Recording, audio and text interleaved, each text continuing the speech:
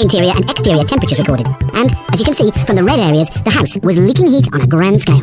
Some came from under the eaves, but by far the biggest leakage was through the windows and door.